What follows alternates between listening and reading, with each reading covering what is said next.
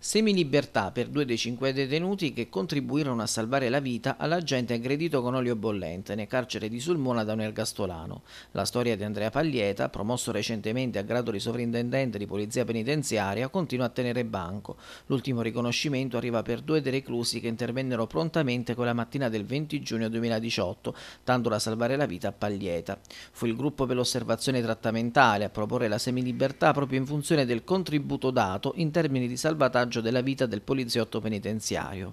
AL e RZ hanno raggiunto, grazie al loro alto senso civico, l'ambito beneficio che gli consentirà di vivere gran parte della loro giornata all'esterno del carcere, per di più in contesti territoriali a loro più confacenti le esigenze familiari.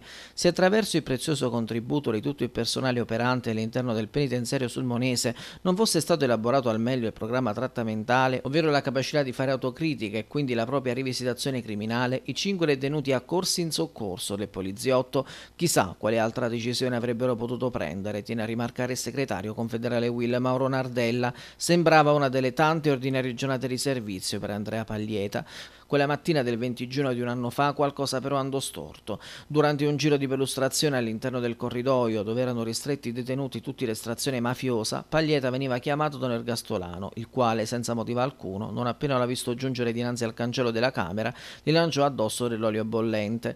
Nonostante le sue doti personali e le capacità professionali dimostrate nell'essersi prontamente riparato gli occhi, sfilatosi la maglietta e respinto l'accentino che il detenuto gli avrebbe lanciato addosso nell'intento di dargli fuoco, riportava ustioni di primo, secondo e terzo grado al volto e al torace.